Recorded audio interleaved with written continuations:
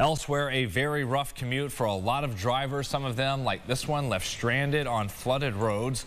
Drainage from all the heavy rainfall this morning, an issue on Panorama Trail in Penfield, just north of Penfield Road, calls that one vehicle there to get stuck with deputies blocking that section of the street.